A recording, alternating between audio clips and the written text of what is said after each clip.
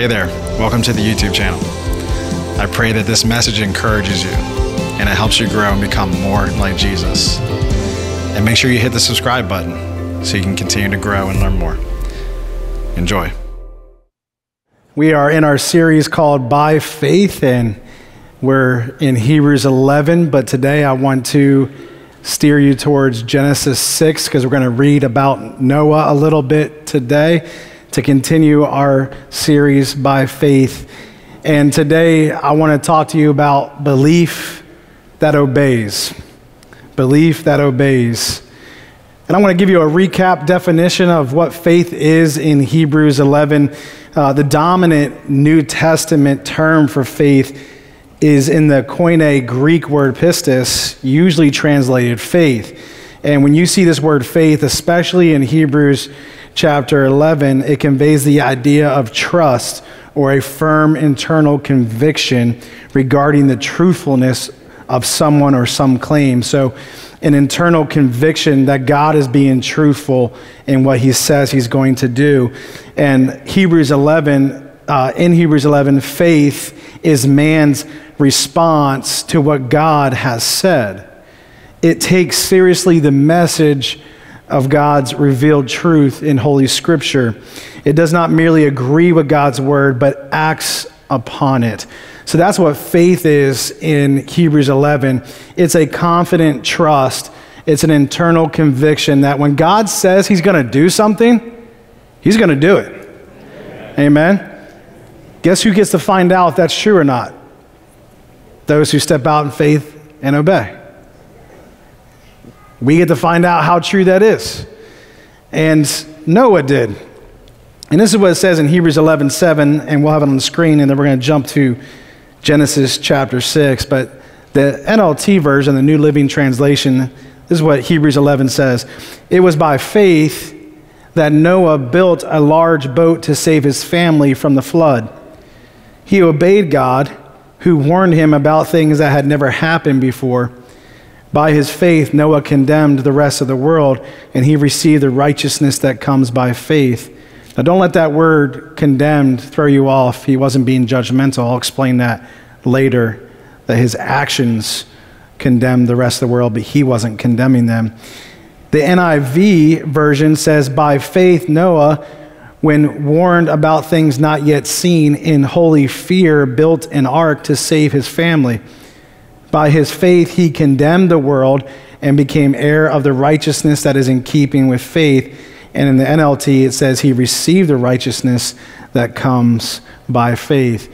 Now, the writer of Hebrews 11 doesn't go into context or detail about Noah's journey and his example of faith. So we need to go into Scripture and actually look uh, at that. And so that's why we're going to go to Genesis 6 and starting with verse 5, we're going to look at this. And we're not going to give you the whole story because it actually covers, uh, Noah's story covers uh, chapters 6, 7, 8, 9, and 10.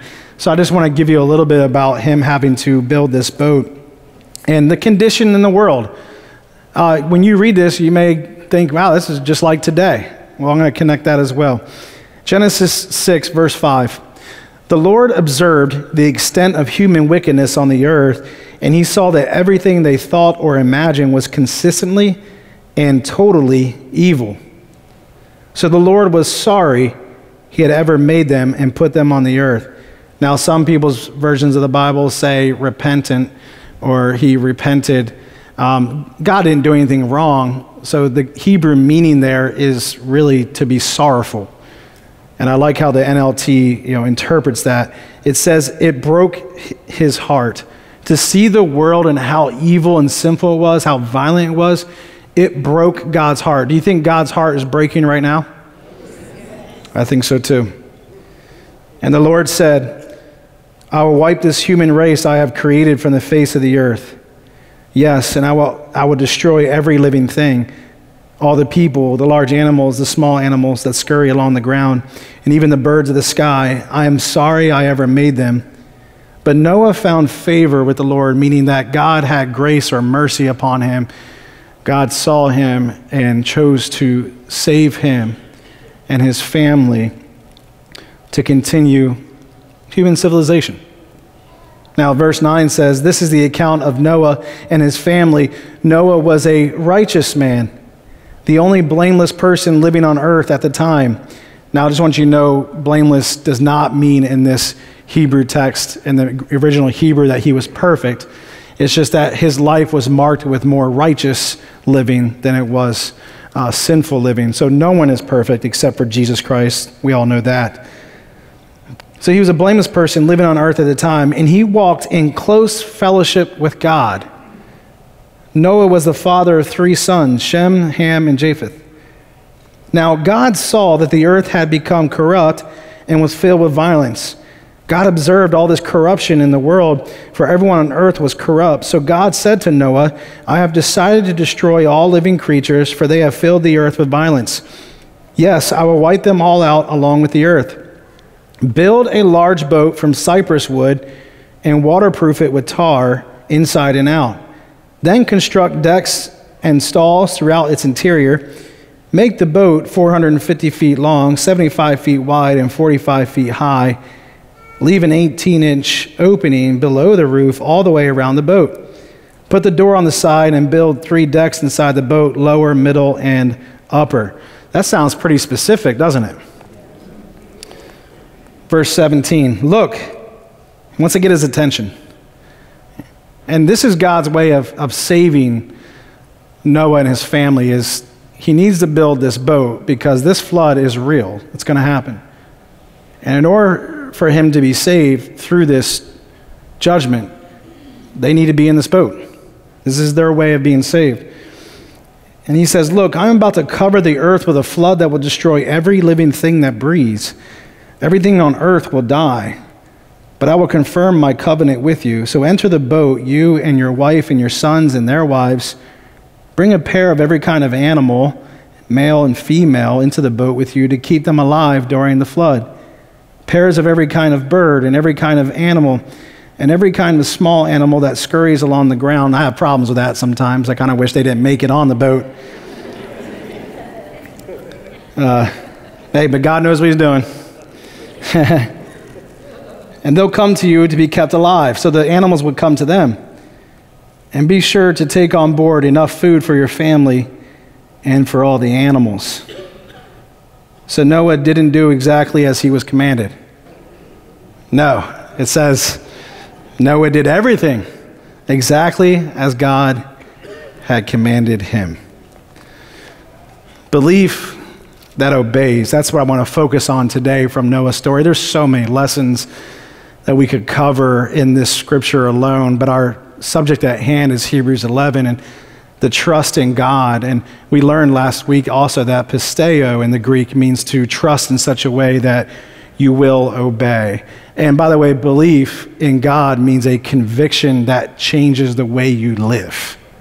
So if I believe in Jesus, it's not just a, a mindset, an internal or internal intellectual belief that God exists, because even demons believe he exists. But belief is conviction to live a different way. And so, same thing here faith in God's word is to live a different way, hence, belief that obeys. What can we learn from Noah's example from 11:7 in Hebrews 11:7? Uh, really simple, really simple points today, um, but so important. And they're simple but harder to see lived out in your life sometimes, right? Easier said than done kind of moments. Number one, Noah believed God. Noah believed God. It was by faith, it was by belief, internal conviction that God was going to send a flood. And so he believed this was going to happen. And so Noah got to work with his family and built a large boat. By faith means he believed God was going to do what he said he was going to do. Belief must precede obedience. Belief is taking God at his word and believing God to be truthful and God gave Noah a specific plan. So it wasn't like it was this kind of um, random thing that God wanted him to do. It was pretty specific, wasn't it, on what he needed to do. So I kind of feel like that was pretty convincing as well. And I've learned over the years that Now, follow me on this because I realize we're in a large room and you don't get to ask a question for clarification. But let me try to explain it best. I realize over the years that our obedience sometimes tells on us. What I mean is, we'll obey the things that God says to do when we believe Him in it. But we don't always believe everything else He says to do. And it shows because we don't act upon it. And I was convicted this week as I was reading this. You know what we tend to do, right? We tend to obey the things that we do believe God's going to do. But sometimes we don't obey the things, not everything that He's commanded us to do, because we're still struggling to believe that. So I think that's an important lesson for us. Can I tell you something? Can I encourage you? God has been faithful every time you've believed and obeyed. What makes you think He's not going to be faithful again? He will provide, He will protect. And by the way, when we say provide, we don't always mean finances. I get that that's a big issue in people's life. But God will provide people to help the church. God will provide people to help you in life. God will provide shelter. God will provide this. You fill in the blank. God is Jehovah Jireh. We're going to talk more about that with Abraham. He provides. We can trust him and obey. Amen. Amen. I mean, in, in, Noah's situation here, it was, it was very unique and very specific, and he chose to believe. We cannot miss that point. And I'm, I'm challenged to look at Scripture again as I read this year through, through the Bible reading plans that we're doing. And I'm challenged to look at things that God has said would happen if we trust Him and obey. And I want to go, God, what am I not believing for? I want to believe that in such a way that I'll step out in faith and live it. Amen? I challenge you to do that as a church so we can be fully devoted followers of Jesus Christ. So, number two, the obvious next step that, that he had, because belief precedes obedience, belief comes first, conviction that God's going to do what he says he's going to do. The second thing that he did is he obeyed. He obeyed God, who warned him about things that had never happened before. The NIV version says, when warned about things not yet seen, it's referring to the flood. The world had never seen a flood like this ever. It's hard to believe something that has never happened, isn't it? It's hard to step out in faith and believe God for something we don't have a frame of reference or someone who did it before you you can go, yeah, well, it worked for them, so let me go ahead and do this. Noah didn't have any examples. He didn't have a cloud of witnesses to go, I can do this. They did it before me. He had God's word, and then he had specific plans, and then he had to choose to believe and obey. Sometimes God's going to give you something that you don't have all the details, but will you believe that he will do what he says? In fact, let me give you this takeaway faith is trusting God even when you don't fully understand. Faith is obeying God even when you don't fully understand. I love what, I love what Christine Caine said. She's a speaker, author, pastor. God requires our obedience before our understanding. Noah didn't have a frame of reference or an idea of what was about to happen. He didn't know exactly how far reaching this flood was, except God said it would destroy everything on earth, except for the things that would be preserved inside the ark. God requires your obedience before you understand what He's asking you to do completely. His ways are not our ways, His thoughts are not our thoughts. And there's some things that God asks us to do that we go, I have no idea how He's going to make this work out, but Lord, I believe you and I'm going to step out in faith, and I'm going to step out and obey you and do the next right thing I'm supposed to do. And that's what this chapter is all about. These heroes of faith in chapter 11 of Hebrews obeyed God without seeing what was to come in full. They didn't understand everything, but they trusted and obeyed God. Let me, uh, I, need to, I need to apply something here to this. It's one of those moments where I need you to follow me well. And and hear my heart on this. Uh, it's important that we apply this message to our lives the proper way. Because some people will say that God told them to do something or certain things but some of those things are not really glorifying God.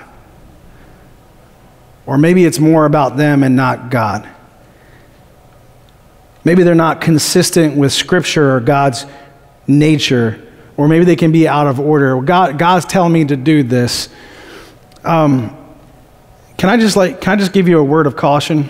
I think we need to be careful with that. And let me explain. Let me, well, let me, let me do this first. Let me give you a suggestion. I want to suggest that we practice believing and trusting God and obeying what's already in here before inventing new things God's telling us to do.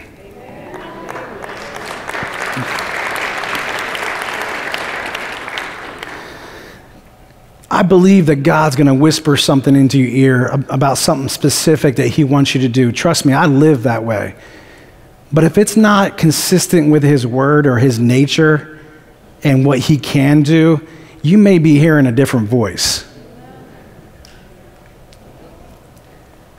I'll give you a scriptural example 1 John 3 16 through 18. This scripture has inspired churches and organizations to start food pantries. Okay? This is how we know what love is. Jesus Christ laid down his life for us. And we ought to lay down our lives for our brothers and sisters. Amen. If anyone has material possessions and sees a brother or sister in need, but has no pity on them, how can the love of God be in that person? Dear children, let us not love with words or speech, not just with our words, but with actions and in truth. Now, that scripture has inspired many Christians to help people in physical need, whether it's food, finances, shelter. When people come to our church, this drives us to help them because when we see a brother or sister in need, we want to help them. We don't want to just say, oh, we're praying for you. We're praying for you. We want to follow through and act on that and take care of that need as much as we can, and as long as they're being honest and real with us as well with all the situations, right? Because we want to be good stewards of the finances of our church. but here's the thing the Word of God already taught us to do that and showed us to do that. Now, God will get specific and say, I want you to build a food pantry to do that.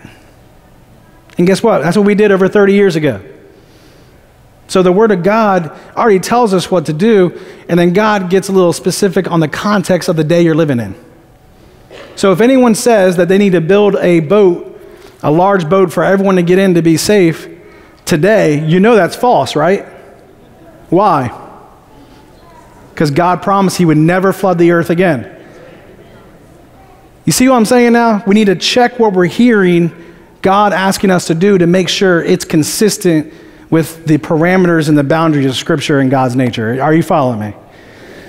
Praise the Lord. And just so you know, Noah was righteous and walked closely with God. You know what that means? Before God asked him to do something crazy, impossible, and outside of his thinking, he was already obeying God in the small things. He was already believing God and obeying God in the small things because he was a righteous man who walked closely with God. He was blameless. This means that when, when Noah was asked to do this big task, he was ready for it because he already saw God being faithful in every other area of his life. What I want to encourage you to do, I want to encourage you to make sure you're being faithful to God in the small things. So when he does ask you to do something big for his kingdom, you're ready to say yes. And you'll have the faith to do it. Are we following me on that? I want to make sure not to offend anyone. Because look, we, we know that God has put on people's hearts to do big things and amazing things for his kingdom. But man, sometimes I'll, run into some people, and this has happened many times over the years, where God would tell them to do something pretty radical, and now they're in poverty, and now we, the church, have to help them. That's not exactly, I think, what God, I don't think God meant for you to go in poverty to help someone else so that now everyone else has to help you. So we got to make sure we're hearing God's God correctly. And God wants us to be a good stewards with our things and our belongings. God wants us as men of God, as, as leaders of the home, God wants us to take care of our homes financially. God wants to do all these things. So to, to, to say that God said you're supposed to sell all your things and go do something, I want you to double check on that and make sure that is something in Scripture or consistent with God, and maybe even seek counsel on that. So I hope we're following me okay. Amen? Okay, very good. So to wrap up, Noah obeyed God. And by the way, Noah got specific instructions here, didn't he? So it wasn't like, hey, I'm going to just get rid of everything and just kind of see where the wind takes me. Let's hit Route 66. that is not at all. that's, that's, that's dangerous. God has plans for your life. Maybe we need to seek that first. Let's take some time to settle down and seek God's will for your life. And then, like I said, let's walk closely with Him and do what He already said to do in His revealed will. You know what He said to do, right? Love Him, love others, and make disciples which means reach the lost and help them grow closer to Jesus. We know that God's already told us to do those three things. So let's do those three things. Amen. Amen. I'm glad we're in agreement. If faith is trust in God, then obedience is the proof, isn't it? If faith is I trust God, then obedience is the proof. That one hurt when I wrote that one down for myself. He built that boat. Never seen anyone do it. Now, now, now we have a museum now in Kentucky. Everyone knows, right? But no flood like that ever again. It never will happen again. And God gave us a symbol that would be in the sky when it rains. What is that symbol? A rainbow. Every time we see that, we can remember the promise of God and that he keeps his promises. Amen. Amen. That's God's symbol, by the way. That's God's symbol. Thirdly, I don't want us to miss this point. Noah saved his family. I mean, it literally says that he built this boat to save his family. There's nothing wrong with that, is there? He built the boat because he loves God, and those who love him do what? Obey him. He also loves his family. And when I read this, it, it hit me as a father. And dads, I want to talk to you for a moment.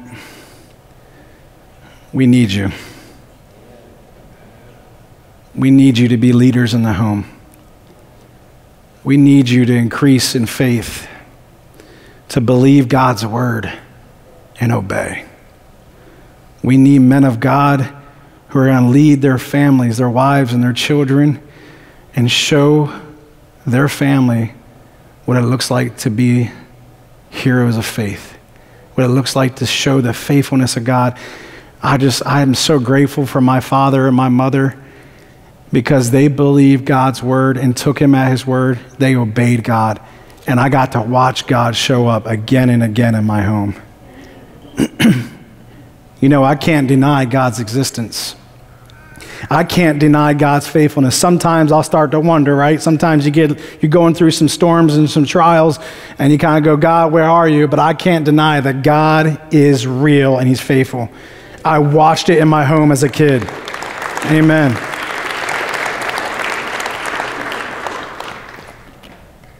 Now, I'm not saying that I'm not saying that dad, your faith is credited to everyone else in the home. That's not how the gospel works. Everyone must believe in Jesus in your home to be saved. But your faith points your family to God. Your faith in God will help your family see God is real and believe in God and trust God and obey Him. So, men, let's do it. Let's believe. Let's obey. And let's do our best to lead our family to God. And ladies, single mothers, I applaud you. I applaud you. You have to be strong and play two roles in your home. And I know that God will fill that role in your life. I just want to encourage you with that. God is helping. Uh, you, you also are women of faith. We're going to read about women of faith in this. Continue to live by faith as a mom and watch God work. Watch God work. Amen.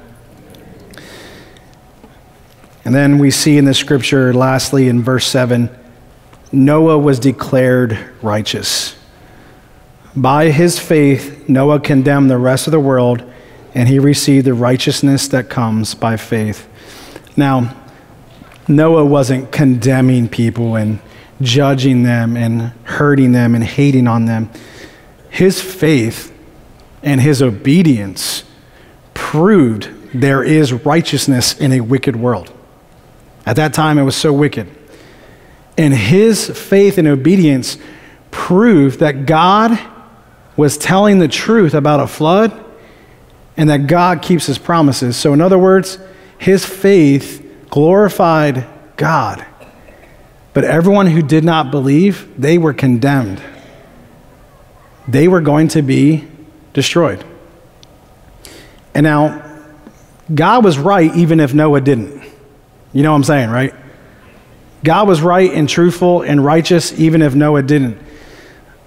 But for mankind to believe God at his word and obey, his life showed that they needed to, to believe and obey as well, and they didn't. And just so you know, Peter, in his writings in the epistles, Peter says that Noah was a preacher of righteousness. Now, we don't see that in Genesis 6 through 10, but what that tells us is through Jewish tradition of some sort, we know that Noah preached about God and preached righteousness to the people around him.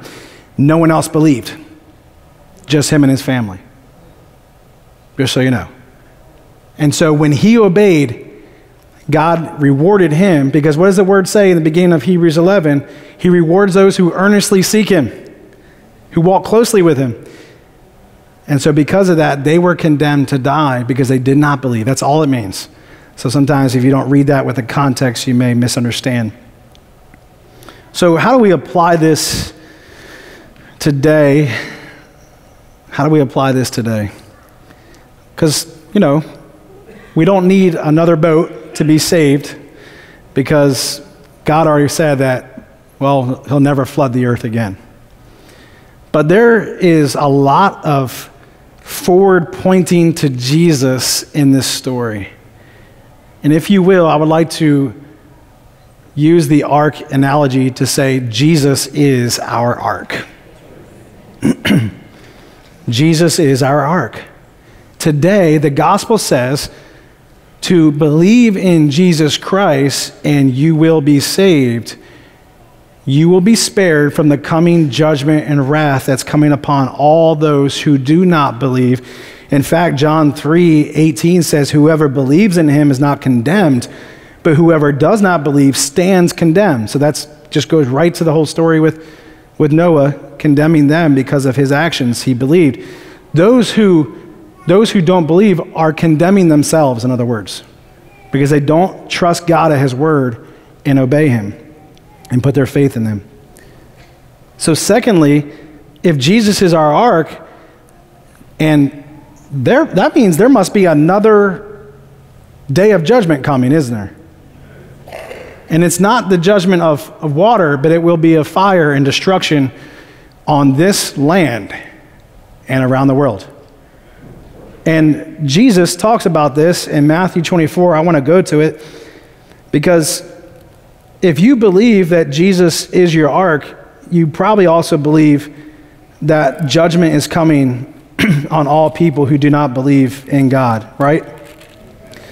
And this is what Jesus says in, in Matthew 24, 37 through 39. By the way, people will argue, hey, that story's fake. That's a little exaggeration. That's a fable.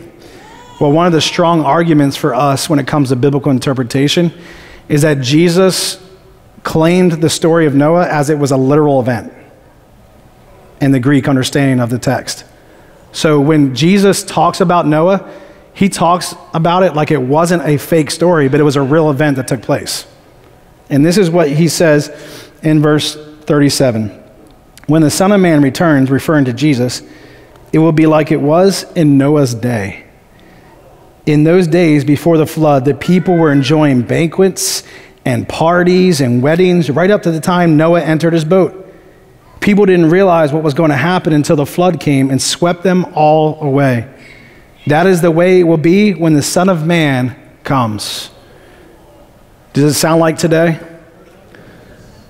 You see, Noah preached, Noah warned, no one listened except for Noah and his family. And all those people were destroyed. It's the same thing about to happen in our world today. People have tuned their ears off, they turned them off from God. They won't listen to preachers like me, they won't listen to churches. And there's a, a variety of reasons why. But let me tell you something you can't stop what's coming. The only thing you can do is be ready and get in the ark, and that is by putting your faith in Jesus Christ. Amen.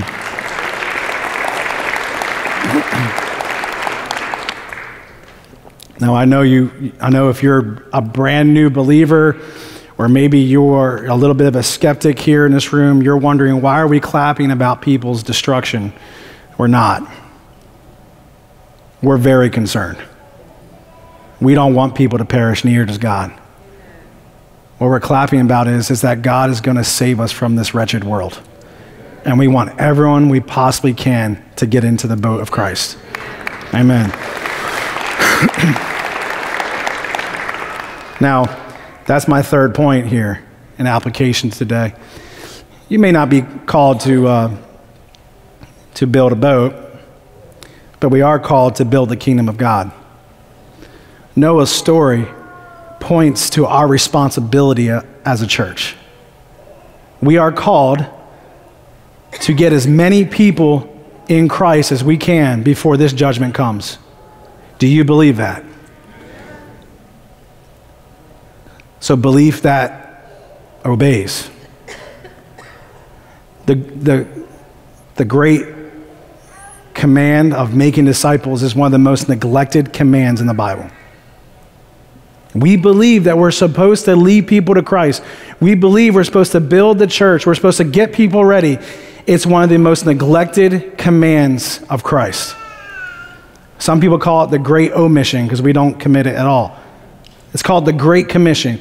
Go and make disciples of all nations, baptizing them in the name of the Father, Son, and Holy Spirit, teaching them to obey everything I've commanded you, and I will be with you. There's the promise. I will be with you until the very end of the age. If we believe that, my friends, you can have faith today that when you obey this command to lead people to Jesus, He is going to help you do it. He is going to help you do it. Listen, I, I didn't go through a 10 step training program on how to love someone. I read the Bible. I learned from Jesus how to love. I learned from Jesus what to say. I learned from the epistles and the apostles. What should I say to my friends? What should I pray? The Holy Spirit taught me to teach people about Jesus. I mean, this is a great church, and I did a whole sermon series about uh, making him known in the summertime. I did that on purpose to equip us for the school year and the new year, and we might need to go back to that. But I'm telling you, I'm going to encourage you do not think you can't lead someone to the Lord. You can. You can. God promised his presence with us for that task. If we believe it, we'll obey it. You guess what? You don't have to spend time building a boat. You get to build relationships with people and lead them to the Lord. You know, Jesus came to this earth to build a relationship with you. And he did a really good job.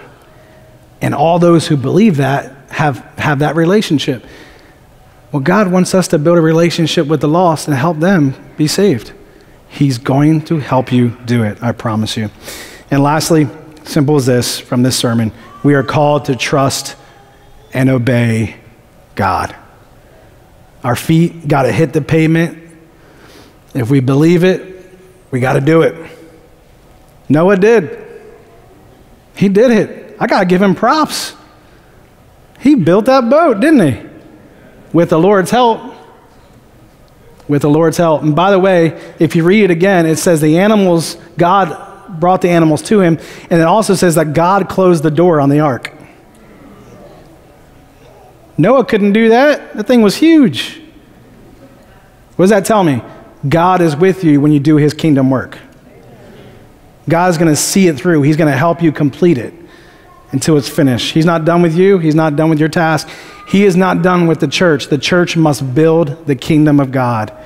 We must fill the kingdom with souls. That's storing up treasures in heaven instead of earth. That's what that means. I can tell you're receiving this. Thank you for that. Let me tell you what St. Ignatius once said It's not hard to obey when we love the one whom we obey. You know, it takes time to believe, it takes time to grow in that faith. It takes time to obey. It does. It takes steps of faith and obedience to grow. But I'm telling you, I also have grown in my love for God, and it's much easier. It's much easier to obey and believe when you know how much God loves you. And that's my last point. It's a joy to obey when we believe and know how much God loves us. You do, do you know how much God loves you? He loves you this much on the cross. I know there's a book that says from the moon and back. It's a cute book. I used to read it to my kids. Now we say, He loves you eternity. That's what we used to say to our kids. He loves you forever. God loves you. If He's asking you to do the things in the Word of God, it's because He loves you. It's a lot easier when you grow in your love for Him to do what He says. And we do that through experience of relationship with Him. I'll make close in prayer. I don't know what God is, in, is convicting or encouraging or inspiring you to build today, but I got to tell you, I, I thank God that, that we believed, that we believed God's prompting to purchase the furniture store, which is now our Calvary Community Center. You know, the reason why we built that furniture store is because God said, or that we purchased that furniture store, is because God said to take care of the needs of our community. And little did we know that our school would explode with tons of people wanting to come to it, tons of families and students. And we got so full in this facility, and we also used Christ Memorial across the street, that years ago we had to go into, into the community center for our high school. And we didn't, we didn't understand that. We didn't understand that's what was going to happen. We just believed that God wanted us to reach people in our community and make disciples. And by the way, a Christian education for kids is discipling them. Amen? So we're obeying two commands right there make disciples, educate children in the things of God, in the Word of God, and reach the lost and help the lost. Help those in need. We saw that in Scripture, and people believed we needed that furniture store, and now, years later, it is packed and we have no room for students. Now, we didn't understand that, but there was a business meeting where people stepped out in faith, just like our partner night coming up. People stepped out in faith and said, Let's do it. And it was scary because it was a lot of money. And I'm pretty sure we're still paying it down. But you know what? I praise God that we did that. And I praise God that we obey the command to take care of people's needs because over 30 years ago, we outfitted our garage to be a food pantry. Instead of storing stuff, we're storing life to help people in need. That took belief in the Word of God and that if we obey, God's going to provide everything needed to make it happen. Be encouraged.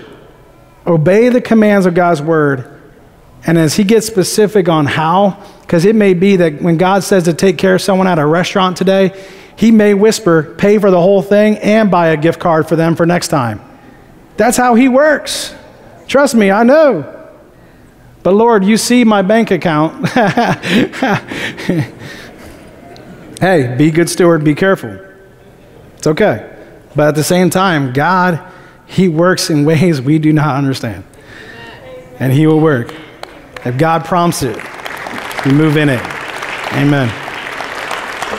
Amen. Why don't we stand together as we pray? I think I said that like 10 minutes ago. Pray. We're going to pray, and it's 10 minutes later.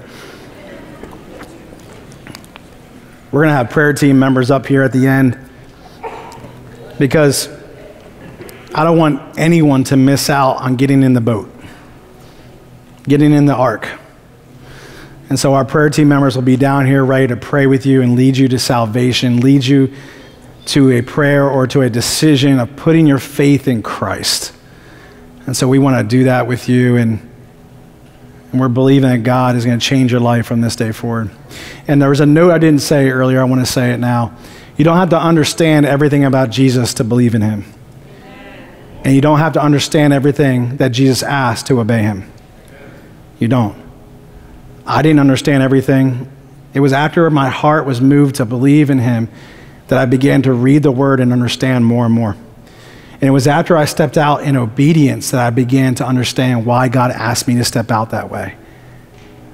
That's childlike faith. And that's the faith that the Word of God says you will see the kingdom of God. You will see heaven. Lord, we are so inspired and encouraged by the faith of everyday men and women in Hebrews 11. And Lord, I pray that you would increase our faith in you. It's not in our own power or ability, our faith is in you. God, increase it. And Lord, I know that the increase comes when we step out. I know in my life, God, my faith has increased when I obeyed. So, Lord, help us to obey your word, to believe your word, and to live it out. And Lord, today, you have been working on hearts to believe in you for salvation, to get into the ark, to get into Christ. Lord, you don't want anyone to perish, but to have everlasting life. God, you wish that no one who's hearing this message right now, hearing these words, you don't wish any of them to go to hell or to be separated from you forever. You wish for them to be with you. You build a relationship with us. God, I pray you would draw them to build a relationship with you today. Save them. And Lord, may they know how much you have forgiven and loved them. God, give us the faith to do the, the hard things, all the things you've called us to do. Not all of them are that easy. I pray, God, you increase our faith for those. And Lord, for the things that you're going to lead and guide us, you're going to whisper to us because there's nothing wrong with that, God. But Lord, I pray you would lead and guide us by your spirit not our flesh. And that you would lead us to do what you called us to do, to build the kingdom of God and to trust you and obey you. We love you, God. We give you all the glory and praise for this word today. Help us to apply it to our lives. In Jesus' name, amen. Amen.